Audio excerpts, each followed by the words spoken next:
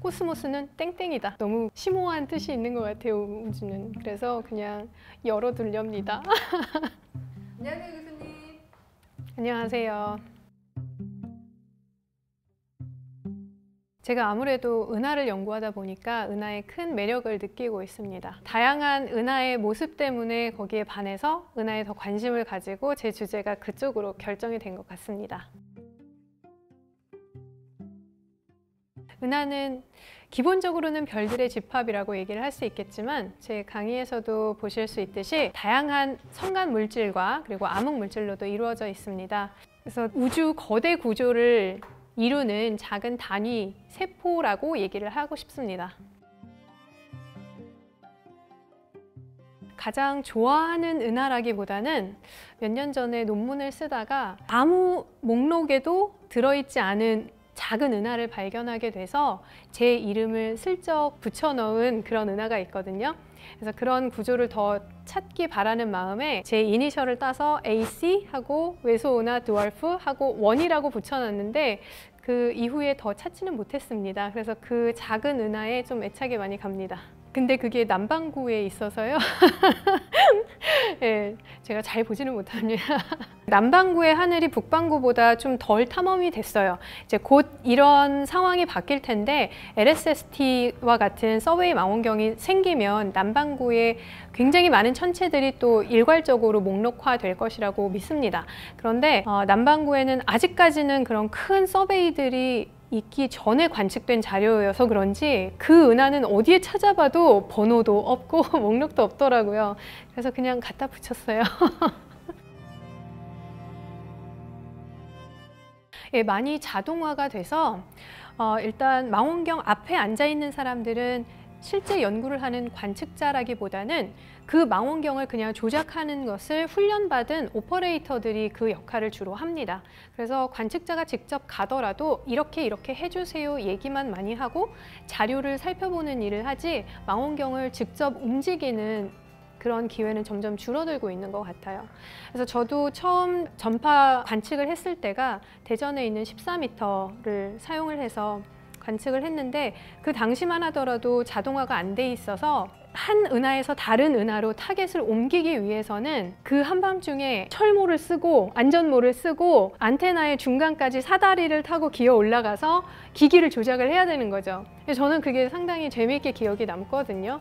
근데 그런 기회가 점점 더 줄어들고 있는 것 같아요. 자동화도 됐고 또 제가 많이 요즘 쓰는 건 전파 간섭계인데 간섭계는 뭐 기계가 너무 워낙에 복잡하기 때문에 관측자가 별로 환영받지 못하는 환영 예, 오지 마세요 우리가 알아서 할게요 그래서 자료만 이렇게 전해주셔서 그런 면에 있어서는 좀 아쉬워요.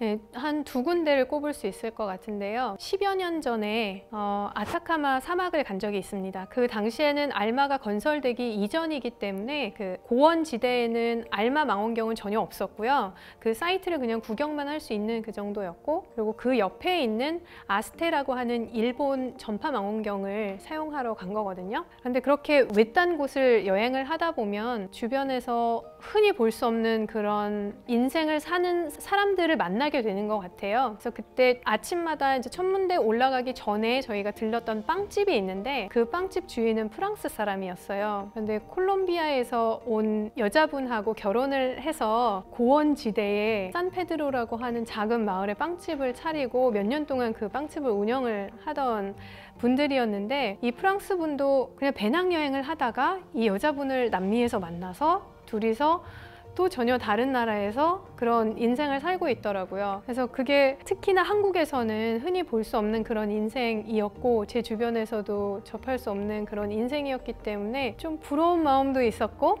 그 자유로움이 부럽기도 하고 존경스럽기도 했습니다. 그 용기가. 그래서 그 여행이 많이 기억에 남고요. 또 한 가지는 몇 년 전에 이제 제 제자랑 같이 마우나케아에 갔을 때인데요. JCMT라고 하는 썸 밀리미터 망원경을 사용을 하러 갔는데 그 망원경 어, 관측실 들어가는 그 입구에 맥스웰 방정식이 이렇게 쫙 나와 있고 그리고 맨 밑에 문구가 그리고 빛이 있었다라는 그 문구가 어, 정말 이거는 물리학을 하는 사람만 이해할 수 있는 굉장히 좋은 농담이라고 생각을 했어요.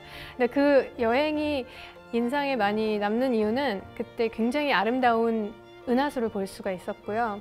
그리고 그 뒤에 썸 밀리미터 어레이라고 하는 전파 간섭계가 있는데 같이 갔던 제자하고 썸 밀리미터 어레이에서 나온 자료를 사용한 논문을 작성하고 있었거든요. 근데 우연히도 저희가 여행하기 직전에 공동 연구자들이 아주 빨리빨리 반응을 해줘서 그 JCMT에서 관측을 하면서 SMA를 등 뒤에 지고 그 논문을 투고를 할 수 있었어요. 그래서 저에게도 저의 제자에게도 굉장히 특별한 경험이 아니었나 싶습니다.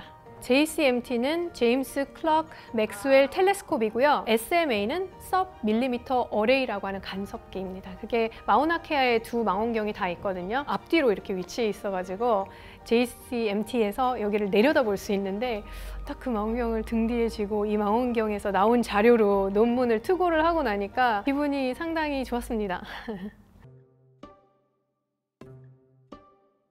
어, 관측 천문학자로서 오레오 쿠키를 먹는 사람들이라는 책을 꼭 추천을 드리고 싶어요. 그게 현재는 사실 망원경들이 많이 자동화가 돼서 그런 식의 전통적인 방식의 관측을 하는 관측소가 점점 사라지고 있어요. 근데 그 책을 읽으면 정말 망원경에 가서 앉아 있느라고 화장실도 제대로 못 갔던 그런 선배 관측자들의 이야기가 너무 재밌게 담겨 있어서 아, 관측을 하면 이렇게 고생을 할 수도 있었겠구나. 옛날 얘기이지만 되게 재밌는 에피소드들이 많아서 영화처럼 읽을 수 있는 것 같아요. 실제 관측자들의 이야기지만 영화처럼 읽을 수 있는 재밌는 책인 것 같아서 추천을 해드리고 싶고요. 그리고 영화는 두 개의 컨택트를 추천을 해드리고 싶은데 90년대 중반에 나왔던 진짜 컨택트 그거는 칼 세이건이 쓴 소설을 바탕으로 한 영화죠. 그리고 최근에 우리나라에는 컨택트라는 제목으로 개봉은 했으나 원제는 Arrival이라고 하는 그 외계인하고 교신하는 특수한 문자를 통해서 교신하는 그런 얘기인데 어, 이 두 개의 컨택트가 사실은 과학 우주에 관한 영화이기도 하지만 우리 인류에 대해서도 한번 고찰할 수 있는 기회가 되는 것 같아서 종교 철학적인 그런 의미도 이, 있는 아주 좋은 영화라고 생각이 됩니다. 그래서 그 두 개의 컨택트를 다 보시고 비교해 보셨으면 좋겠어요. 코스모스는 코스모스는 저는 땡땡이라고 생각합니다. 그냥 열어둘게요. 저에게는 너무 많은 의미가 있기 때문에 코스모스는 땡땡이다. 어, 너무 그 심오한 뜻이 있는 것 같아요. 우주는. 네, 그래서 그냥 열어둘렵니다. 네, 이번 강의에서는 제가 연구하는 대상이 은하이다 보니까 은하가 어떻게 구성이 되어 있고 그리고 시간에 따라서 그 특성이 어떻게 바뀔 수 있는지 내부적인 요인 그리고 외부적인 요인을 함께 소개시켜 드리는 시간이 될 것 같습니다.